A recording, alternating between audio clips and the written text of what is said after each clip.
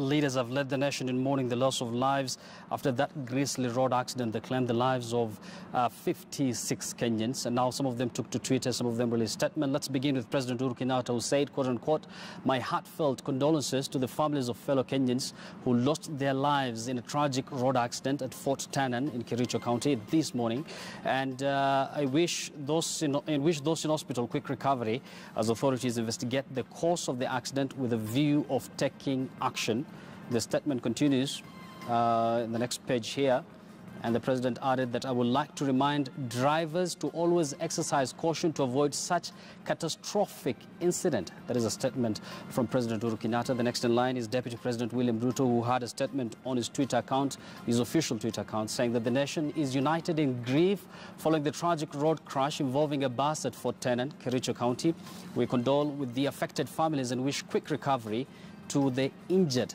That is a part of the statement from Deputy President William Ruto. Next is uh, uh, Senator Gideon Moi, of course, is Senator Baringo County. He said, quote unquote, I send my heartfelt condolences to families who lost their loved ones uh, following uh, the Londiani Muhoroni Road accident this morning, which has so far claimed 50 lives. That number has increased to 56, as we've already reported. He continued to say that I wish the survivors undergoing treatment in various hospitals a speedy recovery. That is a statement from Baringo Senator Gideon Moi. I believe there is two more.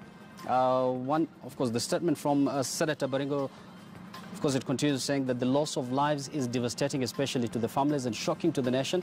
I appeal to motorists to be careful on the roads and at all time observe road safety rules. Police should also continue uh, to be vigilant uh, he concluded by saying that I wish also to call on the doctors attending to the survivors to diligently do their best to save their lives.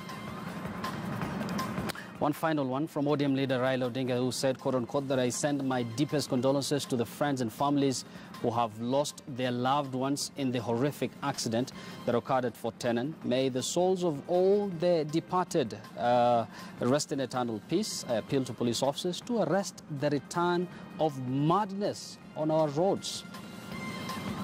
I believe, the, uh, I believe, there's one final statement here from Musalia Mudavadi who said, quote unquote, my deepest condolences to the victims of the tragic road accident at Fort Ternan that has led uh, to such a huge loss of life. I stand by their families in this uh, trying moment. Uh, that is the final statement there from Musalia Mudavadi. And Nairobi Senator Mike Sonko said, quote unquote, I convey my deepest sympathies and heartfelt condolences to the families and friends of 50 passengers who perished in a road accident involving a bus at a tunnel uh, flyover on the Londiani Muhoroni Highway. I want caution uh, PSV drivers to always observe traffic rules to avoid such incidents.